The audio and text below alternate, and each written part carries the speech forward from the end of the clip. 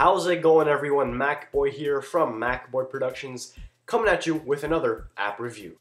And today I want to discuss Isolator, an application that can potentially and essentially increase your productivity when using your Mac. But Isolator is one of those applications that all depends on the individual's preferences. Or in other words, if you like to focus on one application at a time, instead of having your entire screen cluttered with windows open from different programs, then Isolator is for you. As a Mac user, and I'm going to speak on behalf of everyone because I'm sure everyone has the same problem.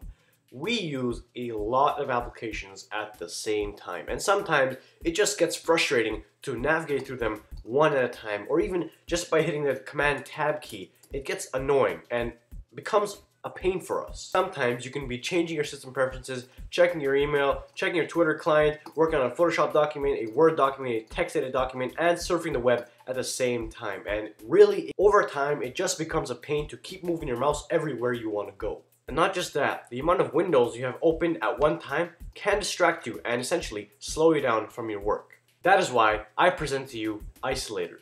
With the hit of a hotkey, everything disappears. Except the application you want to work on. Doesn't that seem so much simpler? Your eyes and your mind can now focus on one application and one application's window only. I hit the hotkey again and all my applications come back. But say I want to switch to an application without hitting the hotkey again.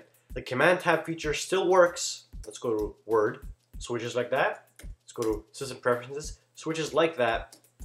Safari, switches just like that. And same with any other window. But what about your dock? Can you bring that up and click applications through there? Of course you can.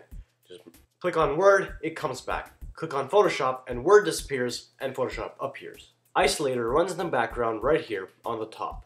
And of course, it lets you select your preferences on how opaque you want the black background to be, the menu icon, general and updates, and so on. So in other words, if you don't like this, get Isolator and live better. The link to download this application and more is in the side.